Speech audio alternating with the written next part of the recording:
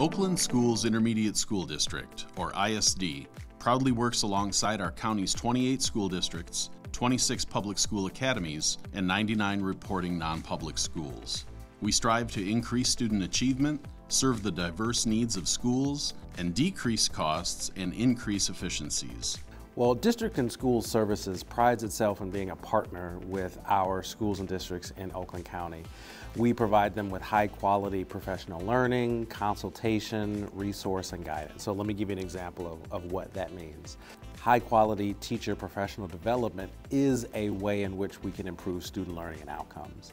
And so we have a broad range of consultants from early literacy, mathematics, science, social studies, technology, curriculum, assessment, world language, foreign language, just about any type of employee or teacher or ancillary staff, we have a consultant that can partner with them to do the very best for students. More than 14,000 education professionals attended customized professional development workshops. Our department is made up of five units. Our compliance unit provides um, technical assistance to our districts to ensure they're providing appropriate and compliant services. Our Student for Services for Low Incident Department provides direct support in the form of teacher consultants or O&M specialists and educational audiologists as well as DBI consultants. Those services cost save the district $4.5 million. Our Material Center department provides any technical support, uh, resources, technology, alternate materials, braille instruction to our students and their families in order to make sure they can access their education. Our SP Capacity Department, which is our Special Populations Capacity Building Department, provides professional learning to our district staff in order to ensure that they have evidence-based and effective um, supports and be able to support the district and the students that they service. And our final department is Student Specialized Services. And this is our department that works with community partners in the community in order to ensure service, students receive services. That includes um, mental health services, wraparound services, homeless services for those students who are um, experiencing homeless situations. So the Early Childhood Unit at Oakland Schools works to make sure that all children are born healthy, developing on track, and ready to succeed by the time they reach kindergarten. And we do that by working with our community partners, school districts, and parents by providing high quality professional learning opportunities, um, a lot of parent engagement, parent involvement. We have a parent advisory committee and a parent leadership group.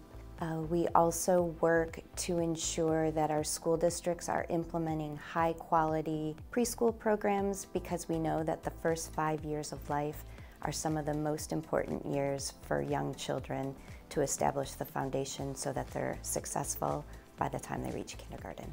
So Student Services here at Oakland Schools has three components. One is our student programs. VLAC is our online school that we offer to districts. There is uh, also ACE, our early middle college component. We have OSTC, the four technical campuses for career and technical education. That is of no cost. We also offer the STEMI, which is our STEM mobile lab and each one of the districts has students K through 12, depending on the needs of the district, flow through that experience. Staying up to date and advocating for student centered legislation while providing fiscally responsible partnerships is a focus of Oakland schools. The Department of Government Relations and Community Services is a liaison essentially between Oakland schools and its constituent districts and our elected officials. We provide legislative updates to our districts and to our staff, and we try to get feedback from our staff experts on legislation so that we can let the legislators know how the bill they're proposing impacts at the ground level, how it's going to actually affect the kids and parents or teachers, whatever, whatever the case is. Then of course we track the legislative changes and the budget process as it goes through from when the governor first introduces her recommendation, her recommended budget, and when then it goes through the House and the Senate and we look at their versions.